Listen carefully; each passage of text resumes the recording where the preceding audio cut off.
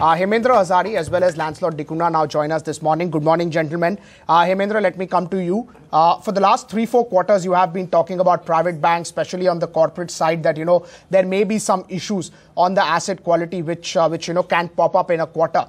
Uh, you think ICICI, uh, the worst is behind, or it's probably just the start? Firstly, it's not maybe. There are major, major issues for the corporate portfolio of all these banks. And for ICICI and for the entire banking industry, what you're currently seeing in ICICI Bank, which the market supposedly is so concerned about, is just the beginning of a huge tsunami which is going to hit all these banks because the corporate sector is under severe stress. And you know, there are a lot of assets uh, which uh, other banks and especially government banks have classified as NPAs or restructured.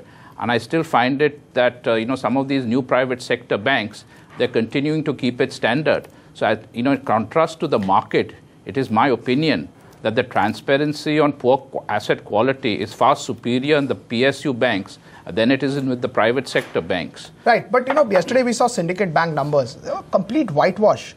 You think the possibility that they may get worse from here on is also there for, for the PSU banking space as well? Oh, most definitely. For at least for the PSU banks, you know, I think Syndicate Bank uh, is going to lead the charge for banks reporting losses. And these losses you will find are going to start accumulating. I'm expecting about four to five additional government banks to report losses, and this will continue to the fourth quarter, uh, you know, for a minimum. So this tells you really what is the true asset quality, and it is finally emerging after many, many quarters. And this is also the fate that is going to befall the new private sector banks. I think what you're seeing in ICICI Bank, which the market has suddenly woken up, is just the tip of an iceberg. There's some huge corporate assets, especially on the foreign books, uh, which are continuing to be reported as standard. Uh, they're, they're continuing to be reported as not restructured. So all these assets will have to surface, and that's what we are seeing now. Right. Uh, do you expect, uh, you know, something like a Axis Bank uh, to now also not go up? Uh, I mean, the results came out. We spoke after the results. They very clearly said that, you know, 1.6% uh, is the gross NPA and they have provided majority of the issues that RBI had raised. You think that's a better placed? How would one look at it? Would the valuations there be superior to ICICI Bank then or uh, people would wait for the next quarter? I think that 1.6% in my opinion is a gross underestimation. You should expect Axis Bank, Yes Bank, also to have these kind of problems. Now, whether they report, they report, you know, sharp deterioration uh, remains to be seen. But the corporate book of some of these new private sector banks is very similar to the government banks. And I think Syndicate Bank has already indicated uh, now what is the impact on its profits. So you're going to see, and this is just the beginning of a few tidal waves which are going to hit the banking sector. Right. Uh, Lancelot, uh, your word on the ICICI Bank numbers, the commentary over there, uh, still the worst is yet to come?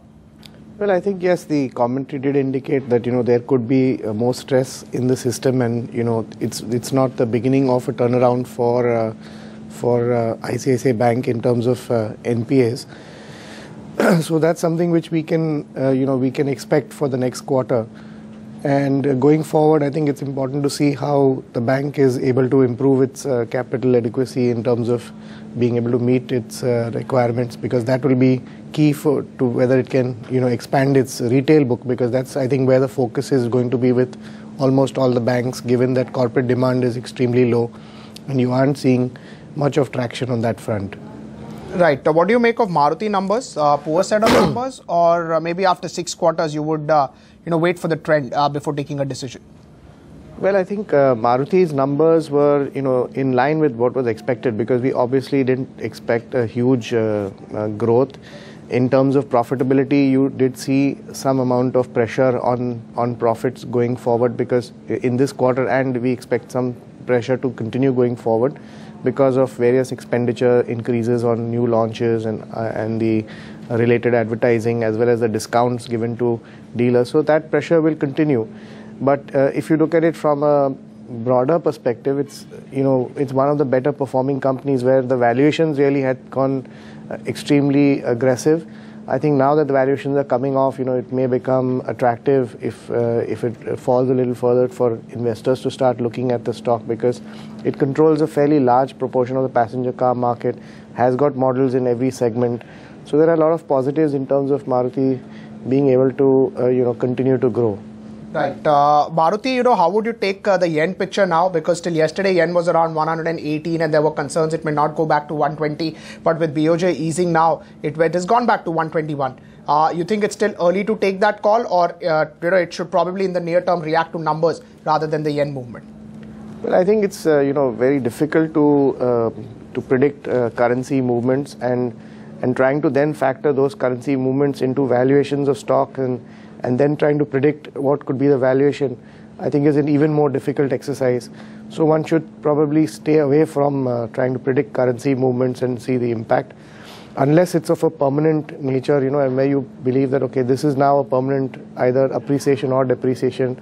So for a fairly long period of time, if it's going to remain stable, then you factor those changes in the currency into your uh, earnings models.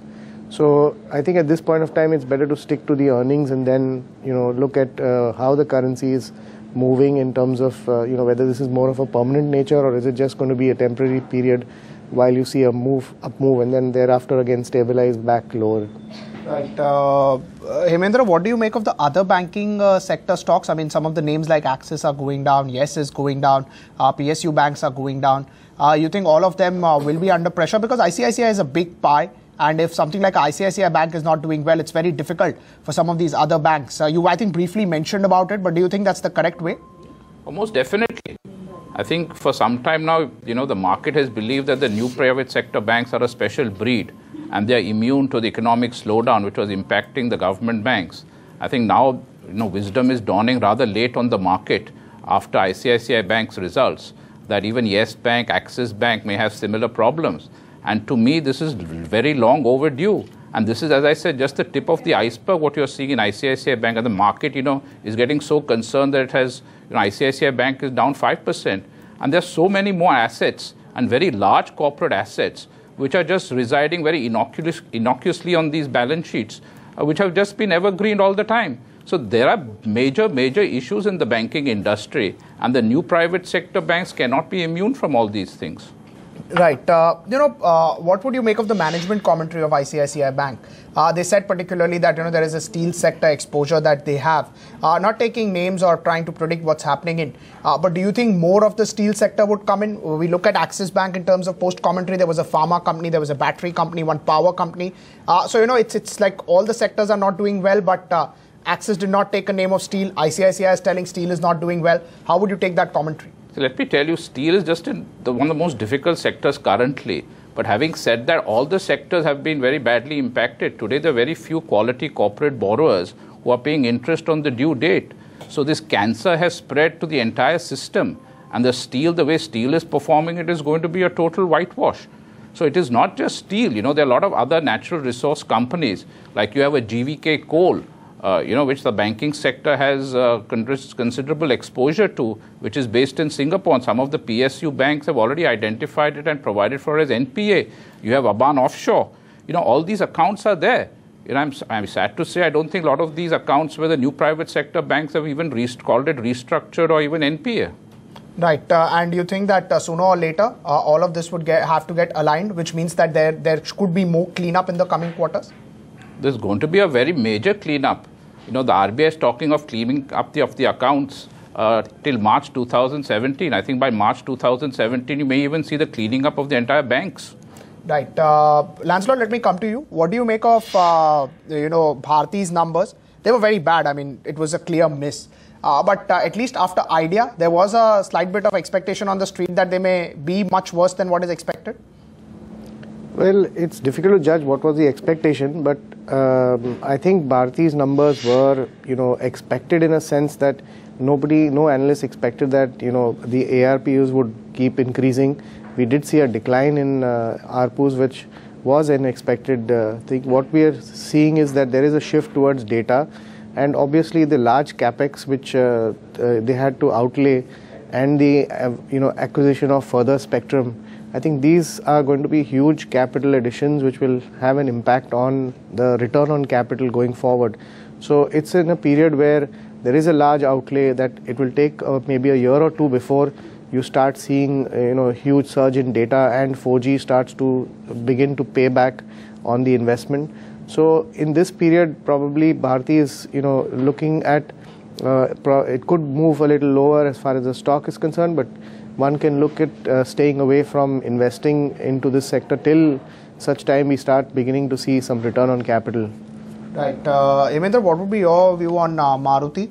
Uh, did you have a look at the numbers? A 15 to 20 percent plus miss on the uh, PAT front for a company that is very well overowned may not be taken well. See, we're a company which is overowned. You know, any slight miss is a very major negative. And the four wheeler space, a lot of the brokerage houses have been extremely positive about because this was a space which where the volumes still were you know growing handsomely in contrast to the two wheeler space.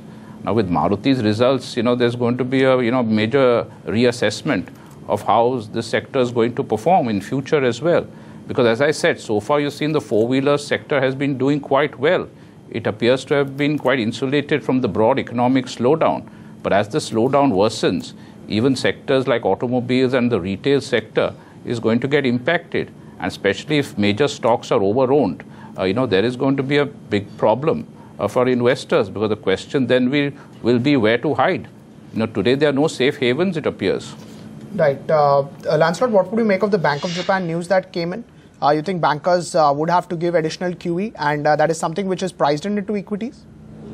Well, I wouldn't say it's priced in, but yes, uh, you know, with easing up of uh, rates as far as the central bank is concerned, I think it will become, uh, you know, a cue for others, other bankers to to start looking at increasing liquidity as well as trying to keep, uh, you know, interest rates low in order to boost their economies.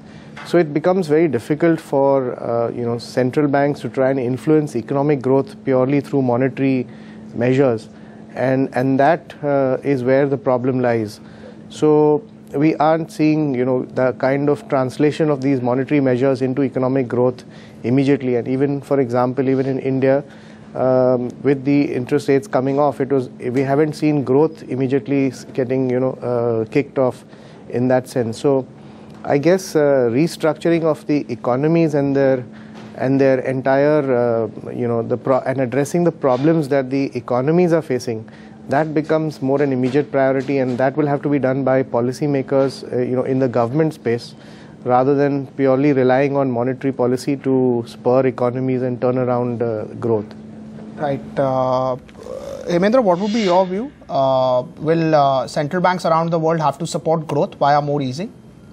So I think he has said a very relevant point about monetary policy stimulus, because it appears this, you know the governments only have this tool to revive the if you to revive the markets, and we have seen that you know you cannot keep doing it because you know if you just keep using monetary policy and a monetary stimulus, all it does is creates asset bubbles. Uh, strangely, you know the markets do not want to accept that you require fiscal stimulus to actually you know impact positively impact the real economy, but the markets perversely they penalize any government which expands the fiscal deficit. And in the absence of this, both globally as well as in India, at best you will get asset bubbles. You will not see any real improvement in the economy uh, because the fiscal stimulus, which in my opinion can really stimulate uh, economic growth as well as employment, that the governments can, are, cannot use because the markets keep putting pressure on them that rising fiscal deficits are, you know, are a big negative because under the mistaken belief that a rising fiscal deficit uh, leads to inflation. Now, you cannot have such a situation when there's huge undercapacity utilization. So, therefore, what you will find is at best they can do the uh, you know monetary stimulus, which again will just lead to another asset bubble in those financial markets. And what you require is a massive fiscal stimulus, both for the global economies as well as for India.